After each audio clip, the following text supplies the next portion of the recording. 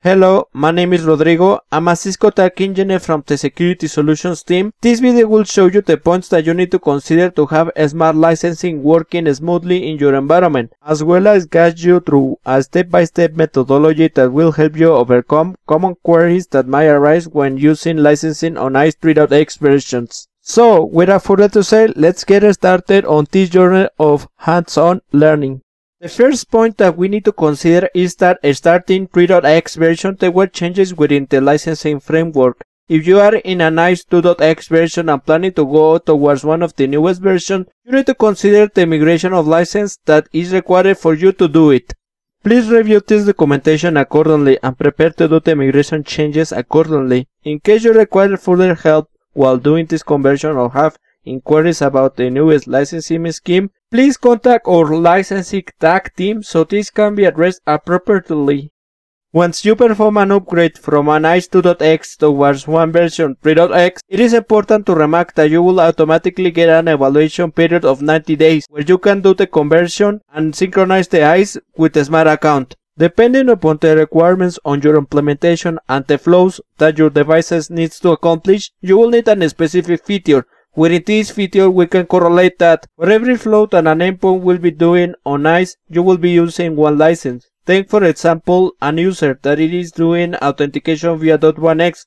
As per the correlation seen in the table, we can see that this user will consume one license essential. Now, if this same user is doing an authentication authentication.1x and doing posture assessment, it will use one Premier license as this is the final flow that you are implementing with this user. The licenses thus are not cumulative and you will be using one particular license depending upon the flow you are implementing with your users. The device administration licenses are counted depending upon the number of PSN from where you enable the device admin service.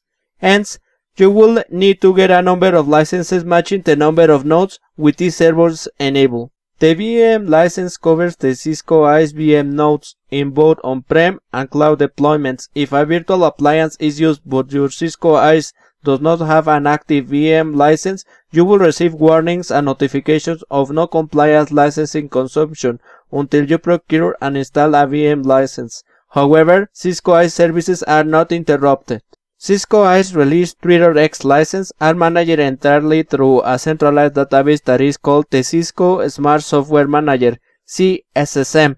The ISE deployment takes internal samples of the licensing consumption every 30 minutes. Licensing compliancy and consumption is updated accordingly. If there is a change in the compliance status when the Cisco ISE synchronizes with the SSM server, the last authorization column of the licenses table is updated accordingly, as we can see in this image. Upon the registration of ISE with the SSM, we have the following values that are described as the following. In compliance, the use of this license is in compliance.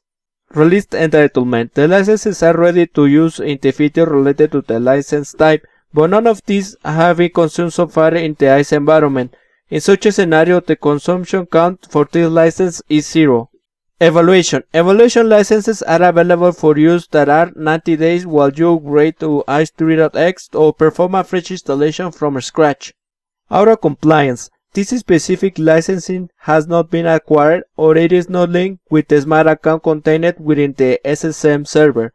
If your licensing consumption it is out of compliance for 45 days, you will lose all administrative control of the Cisco ISE depending upon the feature that is out of compliance. For instance, if you have out of compliance for only Premier licensing, you will lose the capabilities to configure, manage all the features related to this licensing, but you will keep the other dashboard to configure other features not related to this licensing. This will last until you purchase and activate the required license you need. When we talk about the type of registration, we have these three scenarios that we are going to cover. A specific license reservation. This is a model of a smart licensing that will allow you to have a management of licenses without a persistent connection between the ISE and the CSSM server.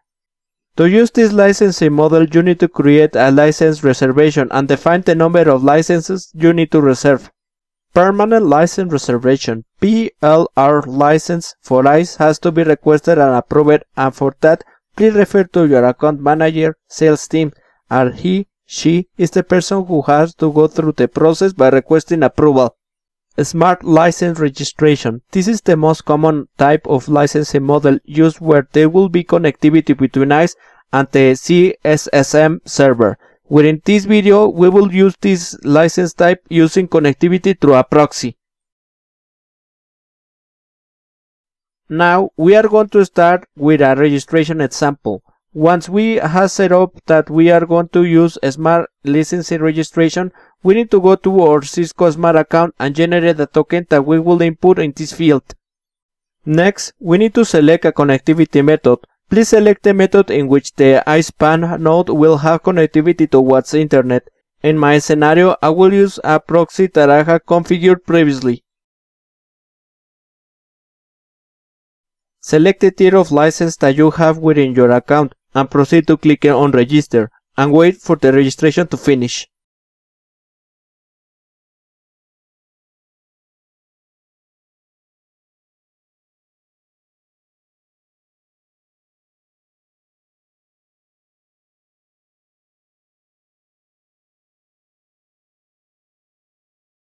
Now you have learned the basic of licensing of ISE.